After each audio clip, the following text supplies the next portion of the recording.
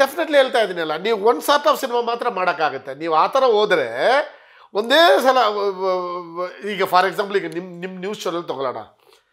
ನಿಮಗೆ ಒಂದು ಇಂಟ್ರೆಸ್ಟ್ ಇರುತ್ತೆ. ಈ ಪರ್ಟಿಕ್ಯುಲರ್ ನ್ಯೂಸ್ಗಳನ್ನ ನಾವು ಜಾಸ್ತಿ ಕವರ್ ಮಾಡ್ತೀವಿ. ಪೊಲಿಟಿಕಲ್ ಸುಮ್ಮನೆ ನಾನು ಹೇಳ್ತಾ ಇದ್ದೀನಿ. ನಾನು ಜಾಸ್ತಿ ಅಬ್ಸರ್ವ್ ಮಾಡಿಲ್ಲ. ಸುಮ್ಮನೆ ಇದು nothing to related to first news for example you are in favour of Congress ಅಂತ ಅಂದ್ಕೊಳ್ಳಿ ನಾನು ನಿಮ್ಮ ನ್ಯೂಸ್ ಚಾನಲ್ನ ನೋಡಿದ್ರೆ ನನಗೆ ಬರೀ ಕಾಂಗ್ರೆಸ್ ಅವ್ರದ್ದು ಮಾತ್ರ ತಾನೇ ಸಿಗುತ್ತೆ. ನಾನು ಬೇರೆ ಚಾನಲ್ ನೋಡಿದ್ರೆ ತಾನೇ ನನಗೆ ಪ್ರಪಂಚದಲ್ಲಿ ಏನು ನಡೀತಾ ಇದೆ ಅಂತ ಗೊತ್ತಾಗುತ್ತೆ. ದಟ್ ಈಸ್ ವಾಟ್ ಈಗ ನೀವು ನಿಮ್ಮ ಸರ್ಕಲ್ ಒಳಗೆ ಮಾಡಿಕೊಂಡ್ರೆ ನಿಮ್ಮ ಕಂಫರ್ಟ್ ಝೋನಲ್ಲೇ ಇರ್ತೀರಾ? ಬೇರೆ ಬೇರೆ ಸಿನಿಮಾಗಳು ಬರಲ್ಲ. So keep away your ego work with everyone talented ತುಂಬ ಜನ ಇದ್ದಾರೆ ಎಲ್ಲರ ಜೊತೆ ಕೆಲಸ ಮಾಡಿ ಅಂತ ಹೇಳ್ತಾ ಇದ್ದೀನಿ ಅಷ್ಟೇ.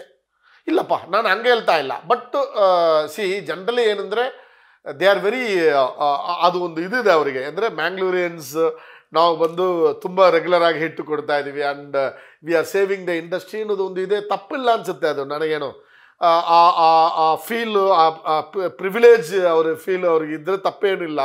But that should not come to your head ಅಂತ ಹೇಳ್ತಾ ಇದ್ದೀನಿ ನಾನು. ಎಲ್ಲೋ ಒಂದು ಕಡೆ ನಾವೇ ತುಂಬ ಆರ್ಟಿಕಲ್ಸ್ ನೀವು ನೋಡಿದ್ದೀರಾ.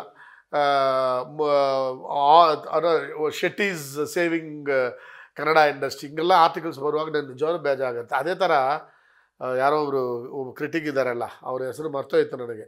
ಏ ಅವರು ಏನು ಸಿನಿಮಾ ಮಾಡಿದ್ರು ಚೆನ್ನಾಗಿದೆ ಅಂತ ಹೇಳ್ತಾರೆ ಮ್ಯಾಂಗ್ಳೂರಿಯನ್ಸು ಅವ್ರ ಹೆಸರು ಬರ್, ಬರ್ದಿಲ್ಲ. ಸ, ಇದು, ಸ ಫಿಲ್ಮಿ ಕಂಪ್ಯಾನಿಯನ್ನಲ್ಲಿ ಒಬ್ಬರು ರಿವ್ಯೂವರ್ ನಾನು ಅವ್ರ ಬಗ್ಗೆ ಬೈದು ಬರ್ತಿದ್ದೆ ಒಂದು ಸಲ ಹಾಂ ಖೈರಾಮ್ ಅವ್ರ ಬಗ್ಗೆ ಬರ್ತಿದ್ದೀನಿ ನಾನು. ನಾನು ಅದನ್ನೇ ಹೇಳಿದ್ದೀನಿ. ಇದು ಮಾಡಬೇಡಿ ಈ ಕೆಲಸ. ಮಾಡಬೇಡಿ. ಕೀಪ್ ಅವೇ ಯುವರ್ ಈಗ ಏನೋ ನಿಮ್ಮ, ನಿಮ್ದು ಏನೋ ಒಂದು ಪ್ರೀತಿ ಇರುತ್ತಲ್ಲ ಕ್ಯಾಸ್ಟಿಂದನೋ ಇಲ್ಲ ಒಂದು ಒಂದು ರಿಲಿಜನಿಂದನೋ ಏನೋ ಒಂದು ಇದಿರುತ್ತೆ, ಅದೆಲ್ಲ ಕೀಪ್ ಅವೇ ಆರ್ಟ್ಗೆ ಅದು ಇಲ್ಲ. ನೀವು ನೋಡಿ, ಬೇರೆ ಸಿನಿಮಾನ ನನ್ನ ಮಗು ಫುಲ್ ಆಪ್ರೇಟ್ ಮಾಡ್ತಾರೆ. ಮ್ಯಾಂಗ್ಲೂರ್ಸ್ ಮಾಡೋ ಸಿನಿಮಾನ ಏನೋ ಒಂದು ಮಾಡಿ ಚೆನ್ನಾಗಿದೆ ಚೆನ್ನಾಗಿದೆ ಅಂತಲೇ ಹೇಳ್ತಾರೆ ಅವರು. ತುಂಬ ಸಾಫ್ಟ್ ಚೆನ್ನಾಗಿಲ್ಲ ಅನ್ನೋದನ್ನು ತುಂಬ ಸಾಫ್ಟ್ ಆಗಿ ಹೇಳಿ ಇದ್ರ ಬಗ್ಗೆ ನಾನು ಬರೆದಿದ್ದೆ. ಸಿ ಇಟ್ ಈಸ್ ಆಲ್ ನನ್ನ ಒಪಿನಿಯನ್ ಏನಕ್ಕೆ ಗೊತ್ತಾ? Not against the person it is for the ವೆಲ್ಫ್ growth of the Kannada industry ಅಷ್ಟೇ ಇರುತ್ತೆ ನನ್ನದು ನಾನು ಈಗ ಅವ್ರಿಗೆ ಬೈದು ಏನಾಗುತ್ತೆ? ನನ್ನ ಪೋಸ್ಟ್ನ ಒಂದು ಐನೂರು ಜನ ನೋಡ್ತಾರೆ, ಅಲ್ಲಿ ಒಂದು ಕಾನ್ವರ್ಸೇಷನ್ ಆಗುತ್ತೆ, ಮುಗಿದೋಗುತ್ತೆ. ನನಗೇನಂದ್ರೆ ನೆಕ್ಸ್ಟ್ ಟೈಮ್ ಈಗ ಒಂದು ಎಲ್ಲೋ ಕಡೆ ಅಣು ಅನ್ಸುತ್ತೆಲ್ಲ ಮೋಸ್ಟ್ಲಿ ಇವರು ಅಬ್ಸರ್ವ್ ಮಾಡಿಬಿಟ್ಟು ಹೇಳಿರ್ತಾರೆ. ಈಗ ಫಾರ್ ಎಕ್ಸಾಂಪಲ್ ನೀವು ಅಣು ಭಂಡಾರಿ ಅಥವಾ ದಯಾಳು ಹೆಂಗೆ ಅಂತ ಕೇಳಿದ್ರೆ ಪ್ರಾಬಬ್ಲಿ ಹೇಳ್ತಾರೆ, ಇಲ್ಲ ವೆರಿ ಗುಡ್ ಅಬ್ಸರ್ವ್ ಅಂತ ಹೇಳ್ಬೋದು. ವೆರಿ ಗುಡ್ ಅನಲಿಸ್ಟ್ ಅಂತ ಹೇಳ್ಬೋದು. ಒಂದು ವೇಳೆ ನಾನು ಮಾಡೋದು ತಪ್ಪ ಅಂತ ಅವ್ರು ಅನಿಸ್ತು, ನಾಳೆ ಒಳ್ಳೆ ಒಳ್ಳೆ ಸಿನಿಮಾಗಳು ನೋಡಿ ಬರೆದ್ರೆ ಇಷ್ಟೇ ತಾನೇ ಸರ್. ವಿಷಯ ಅಷ್ಟೇ. ತುಂಬ ಸಿಂಪಲ್. ಈಗ ನಾವು ಒಂದು, ನೀವು ಬ್ಯಾಡ್ ಮ್ಯಾನ್ ಸಿನಿಮಾ ಅದು ನಾನು ನನ್ನ ಪೋಸ್ಟ್ ಹಾಕಿದ್ದೆ. ಅದರಲ್ಲಿ ಲಾಸ್ಟ್ ಲೈನ್ ಬಗ್ಗೆ ಒಂದು ಪೋಸ್ಟ್ ಹಾಕಿದ್ದೆ. Hindi dubbing rights, satellite digital, world wide theatrical, ಎಲ್ಲ ರೈಟ್ಸು ಜಯಣ್ಣ ಫಿಲಿಮ್ ಜೊತೆ ಇದೆ ಅಂತ ಒಂದು ಲೈನ್ ಹಾಕಿದ್ರು. We know why that line was there ಇಂಟರ್ನಲ್ಲಿ ಅಂದರೆ ಬೇರೆ ಎಲ್ಲಿನೂ ಬಿಸ್ನೆಸ್ ಆಗಿಲ್ಲ ಅಂತ ಅರ್ಥ. ಪ್ರೀ ರಿಲೀಸ್ ಬಗ್ಗೆ ನಾವು, ನಾನು ಅದನ್ನ ಬಗ್ಗೆ ಬರೆದಿದ್ದೆ.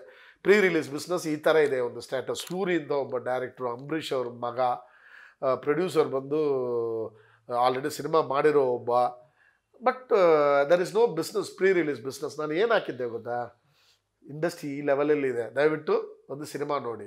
ನಾಳೆ ಆ ಸಿನಿಮಾ ಆ ಸಿನಿಮಾನ ನೋಡಲೇಬೇಕು ಅಂತ ಹೇಳಿಲ್ಲ ನಾನು. ನಾನು ಹೇಳಿದ್ದು ದ ಬಿಸ್ನೆಸ್ ಸ್ಟ್ಯಾಟ ಬಿಸ್ನೆಸ್ ಸ್ಟ್ಯಾಟಸ್ ಹಿಂಗಿದೆ. ಎಷ್ಟು ಪ್ಯಾಥೆಟಿಕ್ ಆಗಿದೆ.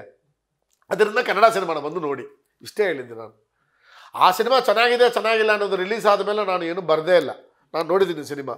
ಓಕೆನಾ ನನ್ನ ಒಪಿನಿಯನ್ನ ನನಗೆ ಎಕ್ಸೈಟ್ ಆಗಿಲ್ಲ. ನಾನು ಅದನ್ನು ಬರಿಬೇಕು ಅಂತ ಎಕ್ಸೈಟ್ ಆಗಿಲ್ಲ. ಆದರೆ ಆ ಪ್ರೀ ರಿಲೀಸ್ ಬಿಸ್ನೆಸ್ ಬಗ್ಗೆ ನನಗೆ ಕನ್ಸರ್ನ್ ಇತ್ತು. ಅದಕ್ಕೋಸ್ಕರ ನಾನು ಬರೆದೆ.